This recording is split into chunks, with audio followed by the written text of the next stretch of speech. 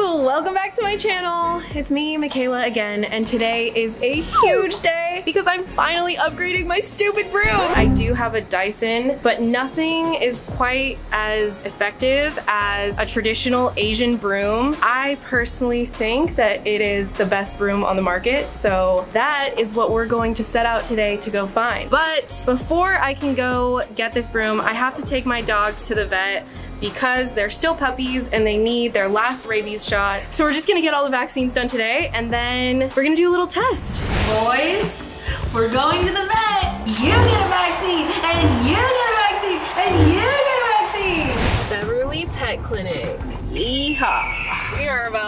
three minutes late, but that is a-okay. So here's the story. Uh, I just want to clear things up about the dogs. When I first scheduled the appointments for them, their names were Coco and Junior, but they've since changed to Smokey and Kubrick. The story behind Smokey's tan brother is that we gave him a new home with our friend who recently moved into an apartment on his own. But Kubrick is still here. He's actually in the back seat right now.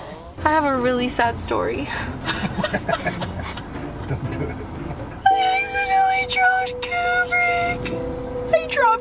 screamed so loud. I question if I'm even gonna be like a dog mom.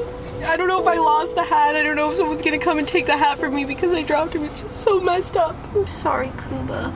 Well, all's well. He's good. You can actually come on it, so you have to make a payment. Okay. So when I first made the appointment, since then we changed their names, but I just never told you guys that we changed their names because I just I don't know. But yeah, they have different names now, so. We are going to get a broom today. I am going to get a broom today.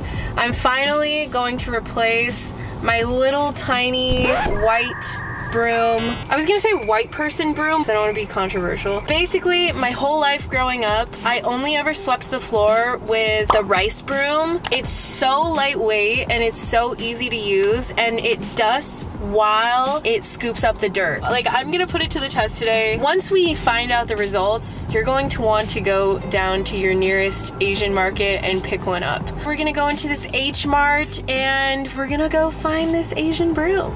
It's gonna be awesome. Let's go.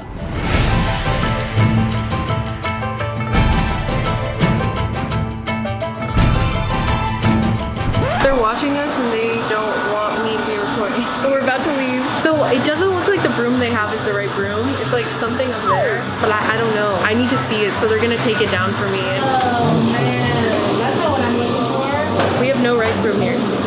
All that plastic stuff. So I guess it's not just a white person broom after all. This is the number one Asian American supermarket in the USA. There's no rice broom here. We just came upstairs and we found this Daiso. Maybe they have a broom in there? I'm really determined to go home with a broom, so it would be really disappointing if we didn't find one. Let's go look.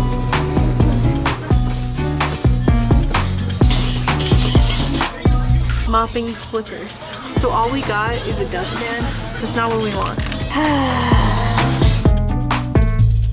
I'm kind of depressed because I really don't want to go home without this broom. I had a friend suggest Chinatown, so I'm going to head over there even though it's like nearly six miles away. I don't, e I don't even think I'm going the right direction. I'm not even going the right way out the parking garage, so I'm just gonna reverse. That is not the exit. Okay, so obviously my mom is from the Philippines. She was born in Quezon City in Manila, and my mom would task my younger brother and I with going around the different Asian markets to find the stuff that my grandma wanted from the store. And my grandma is a huge shopaholic, so if she was with us, we would end up looking at literally everything in the store. Now that I'm shopping for this broom, going to all these stores and looking at all of the different stuff in there is kind of nostalgic for me. Look at that, we're almost downtown.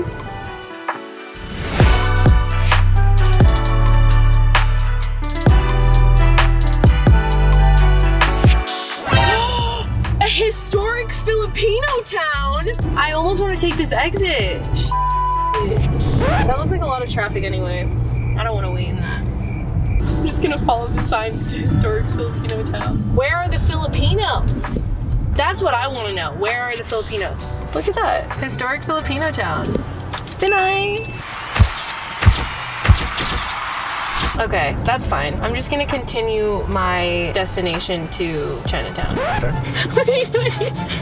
I was not doing that for the camera. I didn't think you were gonna see me doing that. Sometimes when I'm really tired, I have to sit on my hand and pretend it's not my hand. I don't know, it just it helps. I feel a lot more awake now. Chinatown, Chinatown.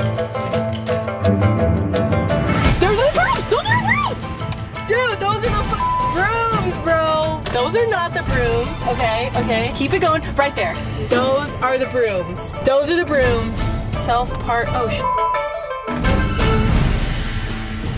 Yay! We found the broom and I made it to Chinatown. I have never been here before, so I'm gonna explore a little bit and then pick up the broom last. pick up the broom last. The brooms were $4 each, and the lady really wanted me to buy these slippers, so I just got them. So another thing about my grandma, she literally would always wear different hats like this. And also her house was full of these kind of pillows. It was like very nostalgic. I'm really embracing my grandma today because like she was seriously so obsessed with plants and buying things that weren't on her grocery list. This was totally essential. I love it. Okay, let's go, let's go.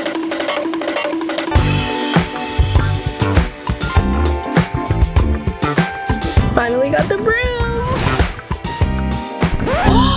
no, they closed at 4 p.m. I heard this was the best bakery in Chinatown. I do like that sign that says protect our elders. Give me your hand.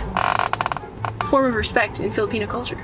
I always had to do that when I would greet my grandpa. Oh, really? Yeah, As much as they did for us was just like kuya uh, ate. Brother and sister, bro. But just like for anyone older, you didn't do that? Here's the thing about my experience with Filipino culture. My mom grew up in the Philippines. She immigrated to the US when she was 18 years old, and her dream from a very young age was to be American. So when she got here, she wanted to be very good at English. She didn't want to have an accent, and she wanted her kids to be American. She didn't want us to know Tagalog. She definitely didn't teach us. I would always be so confused from a young age because I just was like, oh, I think I'm American. And I asked my mom one time, what's my ethnicity? And she was like, you are American. You are not Filipino. You are not Asian. You are not this. You are American.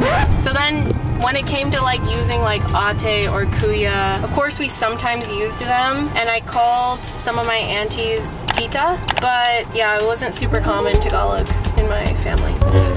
Alright guys, so it's been a few days since I got the brooms from Chinatown. I have finally been able to put them to use. The first broom that I opened is actually Smokey approved. You really uh, did a number on this one. Luckily, I got some backup brooms. I have this one today that is brand new, still in the wrapper. What I'm gonna do is show you the breaking in process and what I do to get it ready for using it inside the house. Definitely don't skip this step.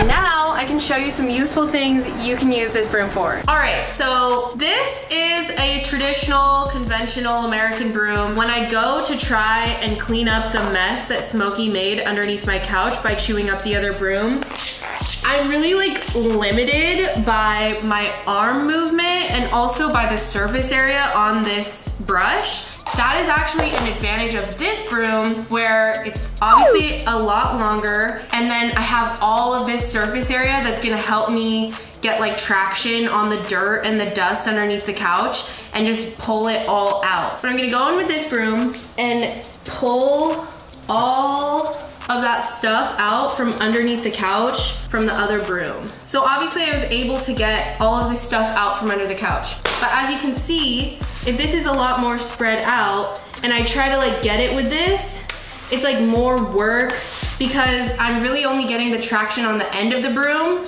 versus having the traction on the entire broom when it's either parallel to the ground or just the edge. I feel like this broom is way more efficient at dusting as it sweeps than this broom is. So if I really wanted to go under here and get all this dust out, it's not really efficient for just going in one clean sweep. This broom, on the other hand, can just really go in there and get out everything. So when you really need to get under those hard to reach places, this broom is gonna be your best friend. It's gonna be really good at getting underneath your oven, underneath your fridge. It's gonna get all that dust too. All right guys, this broom is a super easy and inexpensive way at only $4 to elevate your housekeeping game and embrace the East Asian culture of doing things. Go ahead and subscribe and hit that bell to follow me on my journey as I continue to reignite my Pinay fire and embrace my mother's culture as a Filipino woman. Thank you so much for watching.